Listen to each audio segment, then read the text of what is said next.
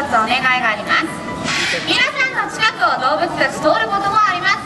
皆さんの近くへ動物が来ても絶対に触らないでください。触られるとびっくりしてどこかへ行ってしまう動物もいますので協力お願いいたします。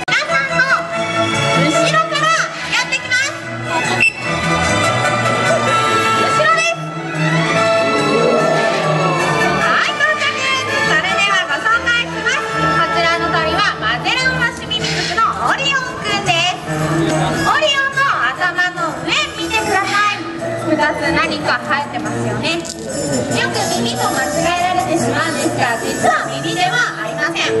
ただの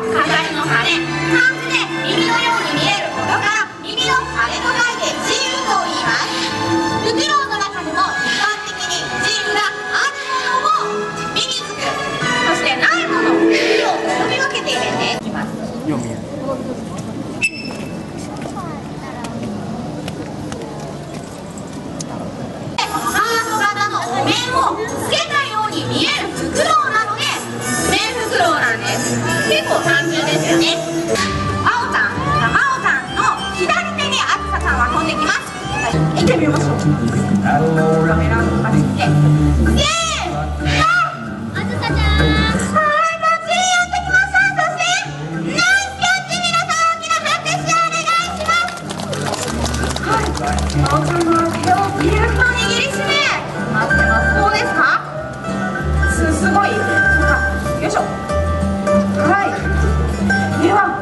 せっかくなんでもうちょっと感想聞こうかな。どうでしたか？飛んできた？けどすごい。重たい。かなと思ったけどあんまりあまり重たくなかった。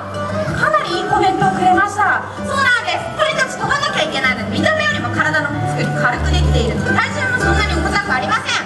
なんと体重は 920g 1キロないんです。皆さん